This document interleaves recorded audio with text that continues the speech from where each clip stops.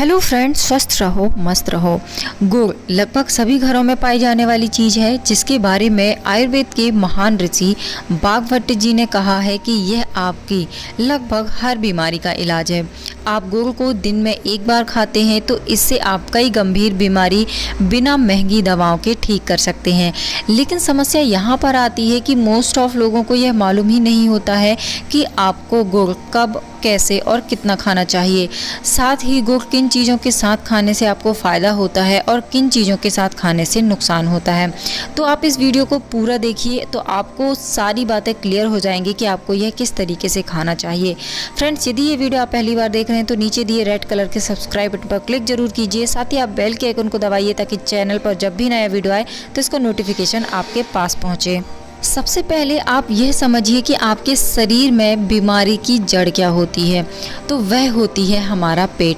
हम जो भी खाते हैं, वह हमारे पेट में जाता है, जहाँ भोजन का पाचन होता है। और पचने के बाद खाने के जो न्यूट्रिएंट्स होते हैं, वह ब्लड के थ्रू आपकी बॉडी के डिफरेंट पार्ट में जाते हैं और आपके बॉडी में एनर्जी के रूप में कन्वर्ट करते हैं। और बाकी का जो बचा हुआ पार्ट होता है भोजन का, या हम बोले जो अपसिस्ट होता है, जो मल के द्वारा बाहर निकलता है, वह आप आपके इंटेस्टाइन यानी कि आपकी आंतों में जाता है।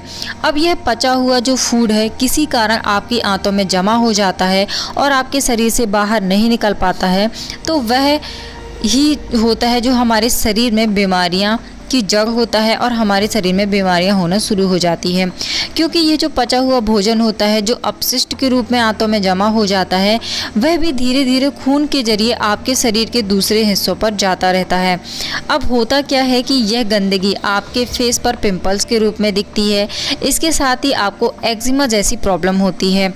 अक्सर आपने देखा होगा कि जिन लोगों को पेट की प्रॉब्लम होती है, पेट खराब होने की या फिर कब्ज की प्रॉब्लम होती है, उनके फेस पर एक्ने बहुत ज़्यादा होते हैं, उन्हें पिंपल्स बार बार और बहुत ज़्यादा होते हैं।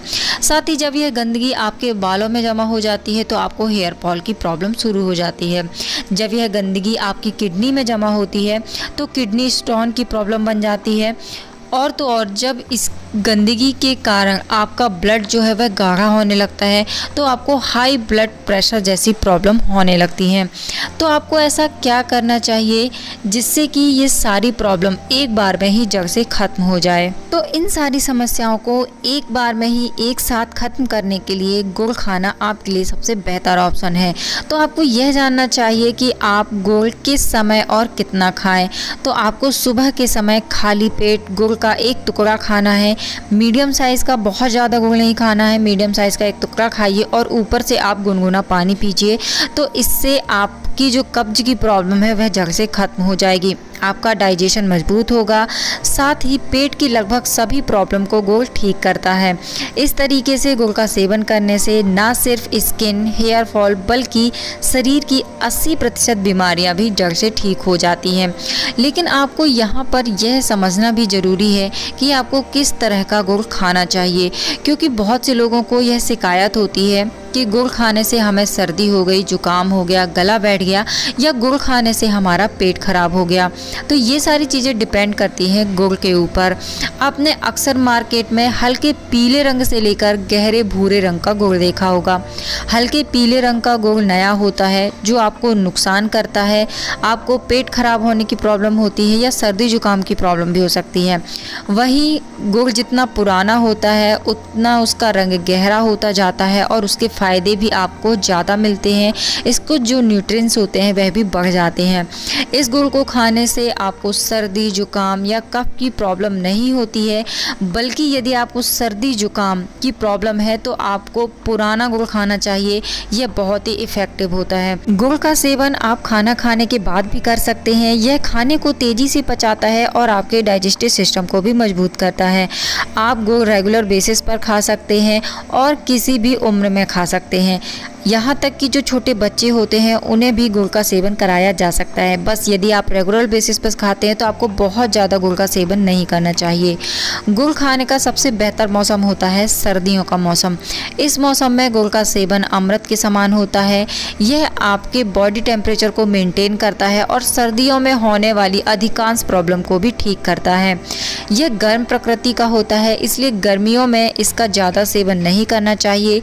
ज़्यादा सेवन करने से नाक से खून आने की समस्या हो सकती है, आपके शरीर में गर्मी बढ़ सकती है और आपको गर्मियों में होने वाली प्रॉब्लम्स ज़्यादा हो सकती हैं।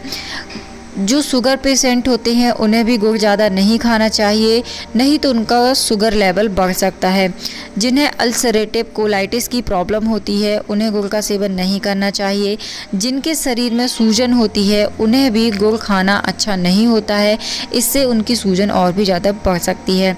वैसे तो सभी तरह की चीज़ों के साथ गुड़ का सेवन किया जा सकता है, लेकिन मूली के साथ गुड़ का सेवन आपको बिल्कुल भी नहीं करना चाहिए, क्योंकि इससे आपको स्किन डिसीज डिसीज़ हो सकते हैं, यहाँ तक कि आपको सफ़ेद दाग की प्रॉब्लम भी हो सकती है। तो मूली के साथ आपको गुड़ का सेवन नहीं करना चाहिए। इसके अलावा दूध के साथ भी गुड़ से, गुड़ खाने से आपको परहेज करना चाहिए। बहुत से ऐसे लोग होते हैं जो दूध के साथ गुड़ का सेवन करते हैं तो ऐसा नहीं करना चाहिए। यह आपकी बॉडी में साइड इफ़ेक्ट कर सकता है, जिससे आपको स्किन प्रॉब्लम हो सकती है, आपके डाइजेस्टिव सिस्टम में प्रॉब्लम हो सकती है। तो ये सारी समस्याएँ आपको हो सकती हैं। तो फ्रेंड्स ये थी एक छोटी सी जानकारी। उम्मीद करती हूँ आपको पसंद आई होगी। होगी यदि यह जानकारी आपको पसंद आई है तो आप इस वीडियो को लाइक कीजिए आपके, एक लाइक से मुझे मिलता है इंस्पिरेशन आपके लिए बेहतर वीडियो बनाने का। साथ ही आप इस वीडियो को शेयर कीजिए ताकि और लोगों को यह जानकारी पहुँचे।